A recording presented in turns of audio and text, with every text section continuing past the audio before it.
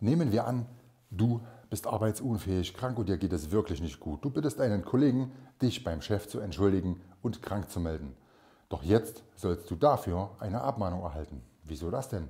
Ist eine solche Abmahnung wirklich rechtens? Die Antwort gibt es nach dem Intro.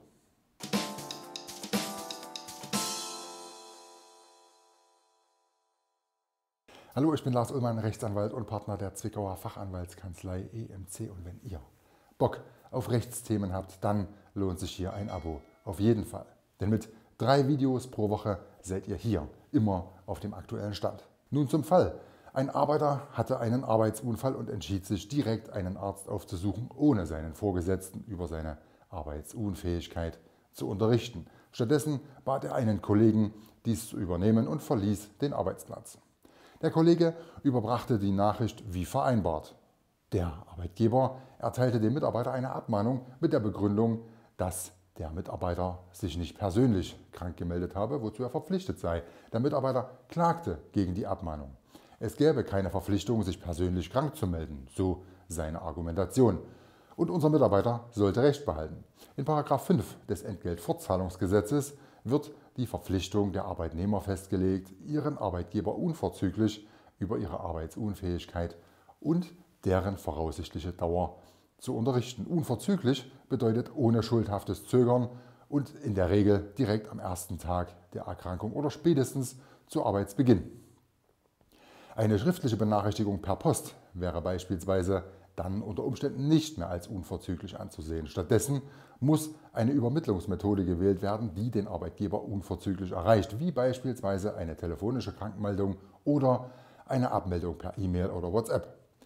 Obwohl eine persönliche Meldung aus Gründen der guten Zusammenarbeit empfohlen wird, ist dies rein rechtlich jedoch nicht notwendig. Eine Krankmeldung kann ebenso gut durch einen Boten wie einen Familienangehörigen oder aber eben auch einen Kollegen, wie es hier der Fall war, erfolgen. Folglich liegt keine Verletzung der arbeitsvertraglichen Pflicht vor, die zu einer Abmahnung führen könnte. Der Arbeitgeber hat folglich den Rechtsstreit verloren und muss die Abmahnung aus der Personalakte entfernen. Wenn ein Mitarbeiter sich durch einen Boten krank meldet, trägt er das Risiko dafür, dass die Meldung unverzüglich und auch korrekt übermittelt wird. Denn die Tatsache, dass der Kollege Kenntnis von der Erkrankung hat, reicht allein nicht aus. Ein Kollege kann nicht, anders als ein Vorgesetzter, ein Arbeitgeber im Sinne des Gesetzes betrachtet werden, bei dem die Krankmeldung erfolgen muss. Wenn der Kollege also nicht oder zu spät meldet, kann es in bestimmten Fällen durchaus gerechtfertigt sein, dem Mitarbeiter eine Abmahnung zu erteilen. Es ist daher ratsam, die Krankmeldung persönlich vorzunehmen, um sicherzustellen, dass sie unverzüglich und auch korrekt erfolgt. Fazit. Das Urteil des Arbeitsgerichts Emden sagt, dass eine Krankmeldung nicht zwingend beim Vorgesetzten persönlich erfolgen muss, sondern auch durch einen Boten übermittelt werden kann. Du kannst also keine Abmahnung erhalten, wenn die Krankmeldung nicht durch dich persönlich erfolgt. Wichtig ist aber, dass die von dir beauftragte Person zuverlässig ist. Erreicht den Arbeitgeber die Krankmeldung nicht unverzüglich, dann kann dennoch eine Abmahnung drohen.